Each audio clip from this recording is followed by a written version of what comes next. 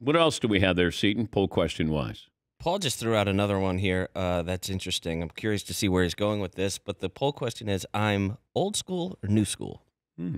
If you had to describe yourself, Well, I'm old school, which with shades of new school. Like it, like it's there. Like the inside is old school. You know, you go into somebody's house and you go, "Man, this hadn't been changed in years." Yeah, that's me.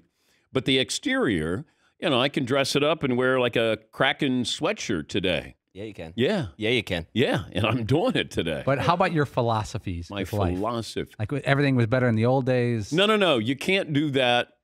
Um, not in this business, but also running a family where you're like, that's the way my dad did it, and that's the way I'm going to do it. Can't do it. I think you lean towards new school. I do. because I, I know how you treat your kids and Yes. things like that. So I would say you're more new school. I try to be newish school, but there, there's an old school mentality that's still there, always going to be there. Yes, Eaton. It's difficult to keep up your new schoolness though, because society moves like if you uh, it it is constantly pushing forward, and so your new school uh, thoughts right now in ten years will be old school. So you have to keep advancing your your new schoolness. Mm-hmm. You're sort of lots of uh I'm sort of at that age too where my new schoolness is being pushed into old schoolness. And it's like I have to reject that a little bit. Mm. Mm. to keep advancing. Okay. Marvin, you uh, old school? Mm, s- certain things I'm old school, but for the most part, I'm new school, especially with my son. Yeah, because your mom was tough on you. To to an extent, but she was hilarious. Yeah, So- but when you said you were thirsty and she said, oh, to drink spit. well, Good advice. well, in context, I did something really bad at school earlier in the day. Oh, oh, oh So yeah, you left yeah. that out oh. all Yeah. these Oh, years. no, no, no, no, no, no. Bridget was not a drink spit just on a regular uh, Yeah, it- Wednesday night. It's Nah. mom, not Bridget. Yeah, No. it- it's mom. Wait, you call your mom Bridget? Well, I don't call her that, but Oh, but you're calling her that now. and sorry, in our family, sometimes we'd be like, "Hey, you see Marianne? She's right there." just just because you go into a store, hey, ma, every every woman turns around. Yeah. Bridget, she turns around like, "All right, I got your attention." My now." kids do that with my wife yeah. because she doesn't turn around and they finally yell out her name and then she turns around. Yeah, Paulie. My sister's kids, when they got about 13, 14, 15, 15 started calling their parents Kevin and Carrie. And I was like, huh? So I think I might be old school. But I don't think I'm going to fly with that. My kids are getting to that age. Yeah, Marv. Oh no, no, I don't mean like on a regular like basis. I'm just explaining to you guys because sometimes, uh, like me and my friends, we'd go.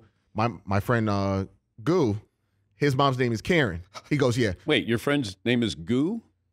yeah, Okay. real real name Kashif, nickname Goo.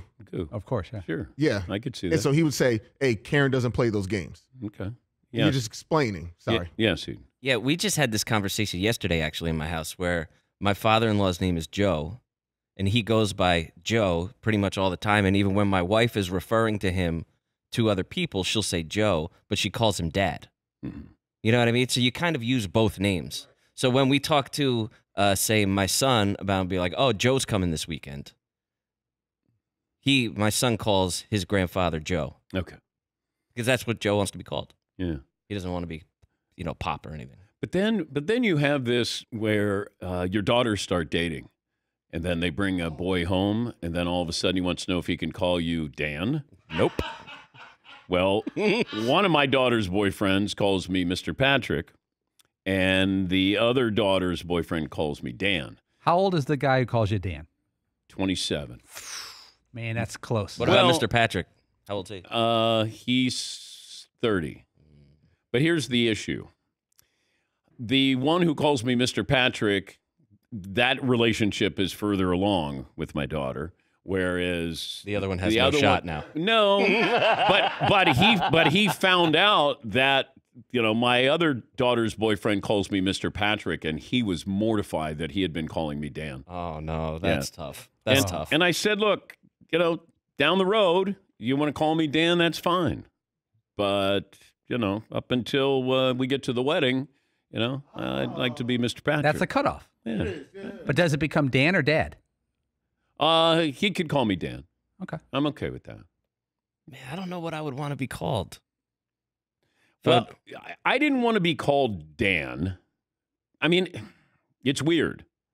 You you know, like you guys haven't experienced any of this stuff, but those are things where, you're like, all right, are you in it for the long haul here? You know, hey Dan, how are you?